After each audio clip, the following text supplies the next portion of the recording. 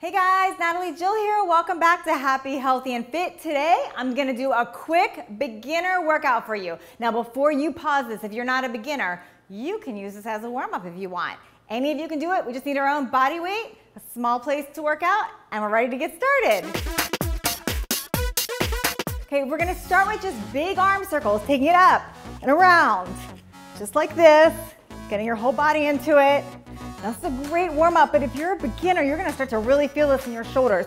Heck, if you're advanced, you might feel this in your shoulders. Getting your whole body into it, breathing through it. Big circles. Keep going, you got this. Use those shoulders, and we're gonna reverse it, up and around. Good job. I love shoulder rolls, especially warming up for anything I do a lot of my moves are plank base, pull up, chin up, and gotta warm up the shoulders. This is a great one. Two more. Nice, okay. Take it to a little bit of a hop, just like you're jump roping, a little bit of a hop, getting that heart rate up. Going, nice. If this is too hard, if this is hurting your knees, if you need it lower impact, you can just a little movement right here. Otherwise, I wanna see jumps. Warming things up. Job. You feeling it yet?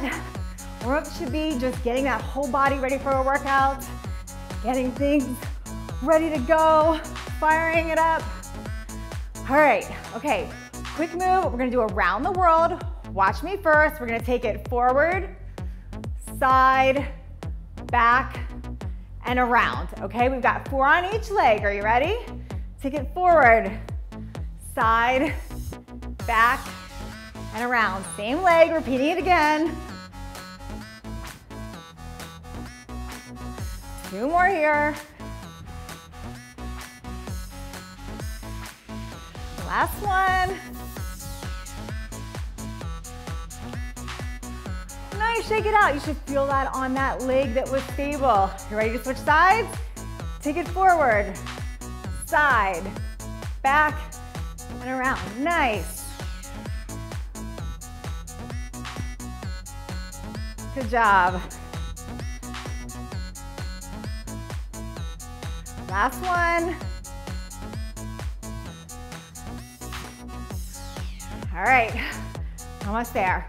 Watch me first. it's gonna be a big curtsy move. So we're taking it up, around, touchdown, and switching sides.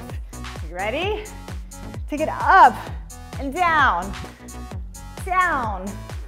Big move, whole body. Got this.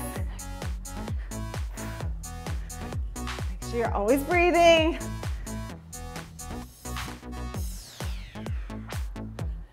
One more each side. Oh, you got it. Big breath in, big breath out, and you did it. Super simple, quick.